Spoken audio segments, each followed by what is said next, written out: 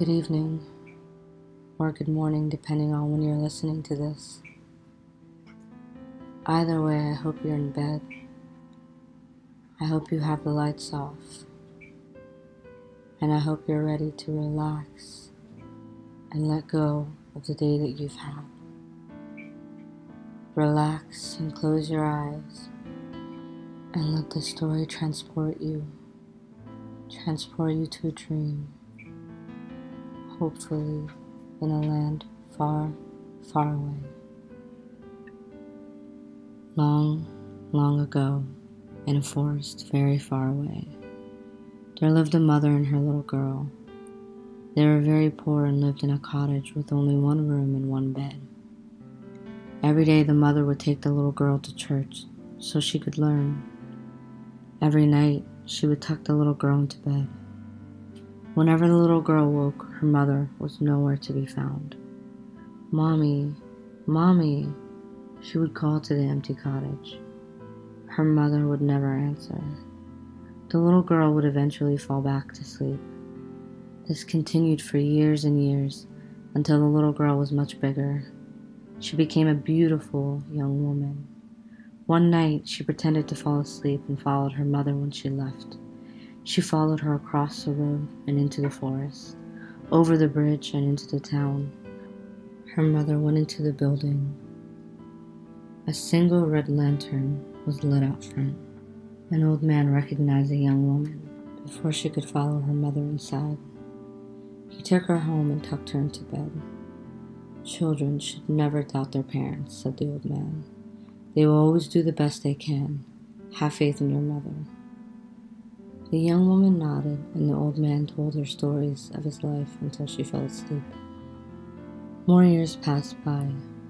The young woman never followed her mother into town again. She had grown into a beautiful maiden. The townspeople spread stories far and wide of the beautiful maiden that lived in the cottage, over the bridge, through the forest, and across the road. One day, a prince heard of this maiden's beauty. He traveled down the mountain, through the town, over the bridge, through the forest, and across the road to see her for himself. The sight of the beautiful maiden st- stole the breath from his lungs and the words from his lips. No story ever told did the maiden's visage justice. The prince and the maiden courted for almost a year. Every morning he declared his love for her. Every night he told her he would be back in the morning, for he could never go a day without her. One day the prince dropped to a knee and pulled a ring from his pocket. Beautiful maiden, you are the only sight that I see. I was under your spell from the moment I first laid eyes on you. Will you marry me? The maiden only shook her head. My prince, I cannot marry you. I do love you dearly, but if you knew who I really am, you would never wish to marry me. No matter how hard the prince pressed, she would not tell him what made her believe he would not want to marry her. He could not fathom ever wishing for another face, as there were none so beautiful as hers. The prince accepted her rejection with grace, but he was still determined. They courted for months more.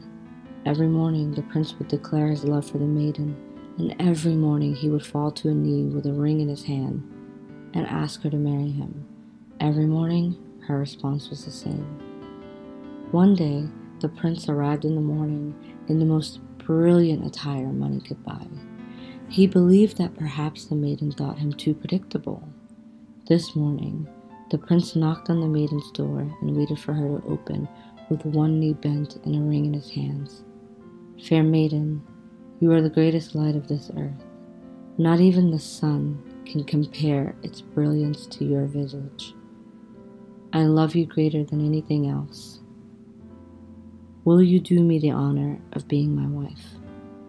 The maiden taken by surprise, did not think about the secret that caused her to reject the prince so many times before. She squealed with delight. Yes, my prince, I will marry you. The entire town gathered for their wedding. It was the wedding of dreams, a handsome prince and a beautiful maiden. Many guests were in attendance, including the king and all of the prince's brothers. The night before the wedding, The prince and the maiden stayed up very late talking. Finally, the prince asked, What was it that made you so sure I would not want to marry you? The maiden was unsure of whether or not she should tell the prince, but she loved him truly and could not bear to tell him a lie. My mother works at that building in town, the one with the single red lantern out front. She has worked there since she discovered I was to be born, so that she could put food onto our table. The maiden was relieved. Finally, she had no more secrets from her love, as she wished it had been from the beginning. The prince's expression did not change, but something in his mind did. He began to see the maiden differently. That night, the beautiful maiden became a beautiful woman. The morning came. The prince was no longer at the woman's side. He's not trying to see me before the wedding. It is bad luck, after all, thought the maiden. The king himself had traveled down the mountain and into the town to give her away. When the ceremony commenced, there the prince was, waiting for her at the altar, as she knew he would be. He did not look as happy as she thought he would be, though. The woman assumed it was because he was nervous. The prince started to look red with anger when the priest asked him for his vow. He turned to face the large crowd. There will be no wedding this day, he declared, for this girl is the daughter of a whore who has no father. She is no maiden, and she is far from pure. He turned and walked away from the altar in a huff. The woman fell to her knees and wept. Many moons pass, and the woman has a bump in her belly. She becomes sick when she eats, and her bump grows more and more every day. The woman quickly realizes that she is going to have a baby. The woman's mother tells her not to worry, that she will take care of everything just as she has since the woman was a little girl. Years pass. Every morning, the mother comes back from the town and sleeps in the single bed in the cottage while the woman teaches the little boy out in the garden. Every night, she awakes and heads into town while the woman and the little boy sleep. One day, the mother gets sick. The doctors tell the woman that there's nothing more that they can do. Within the week, the mother has died. The woman has no money now. She has no way to provide for her little boy. So every morning, she would take the little boy to church to learn, and every night, she would tuck the little boy into bed. Sometimes she would cry in mourning over what her life could have been. But never did she regret what life was. Her little boy was the greatest gift the world could ever have given her, and she loved him more than she loved anything else in the world. She swore that she would never, ever let anything bad happen to him. The little boy grew into a handsome young man. He played knights and knaves in the forest. One day, a young prince came upon the young man.